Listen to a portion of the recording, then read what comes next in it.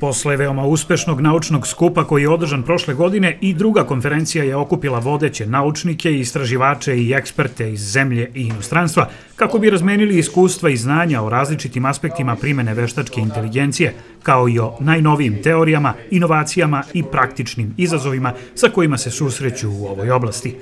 O izuzetno velikom značaju koji Srpska međunarodna konferencija o primenjenoj veštačkoj inteligenciji ima u međunarodnim naučnim institucijama govori i podatak o prisustvu devet istaknutih predavača. Najveće ime svakako je profesor Daniel Šehtman, dobitnik Nobelove nagrade za oblast hemije. Artificial intelligence is going to Veštačka inteligencija je veoma bitna i svakodnevno se razvija i koristi u mnogim oblastima. Ona je evolucija i revolucija koja se dešava, međutim mi smo ti koji je kontrolišemo. Ona je izuzetno važna za razvoj zemlje i svaka vlada mora da podrži i ulaže u veštačku inteligenciju.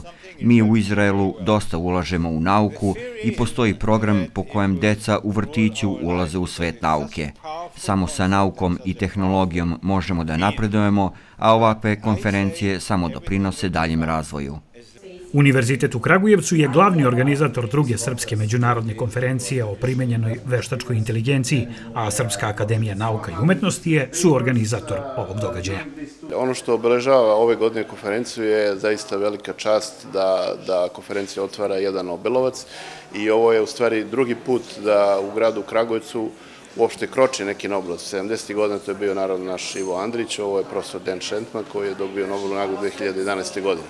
Zašto upravo on? Zato što je on zaista sad ima jednu misiju da ide e, svude po svetu i da promoviše pre svega razvoj veštačke inteligencije, ali i razvoj nauke u vrlo ranoj oblasti razvoja, e, čak kod dece od 5 do 7 godina on promoviše da oni kreću u polje nauke i zaista to je jedan jedinstveni program koji će on upravo prezentovati, koji već u Izraelu funkcioniše 12 godina.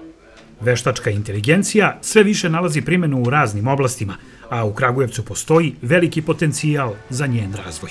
Ono što mi praktično i očekujemo, akademska zajednica treba da nam pruži najveći broj odgovora u budućnosti korišćenja veštačke inteligencije, ali i da nam ponudi neka savremena rešenja koje će biti na opšto dobrobit e, društva u celini. Ovaj događaj predstavlja značajan naučni skup koji omogućava razmenu novih ideja i tehnologija u oblasti veštačke inteligencije i njene primene, promoviše rezultate stručnjaka iz ove oblasti i od velikog je značaja za naučnu zajednicu u Srbiji i šire.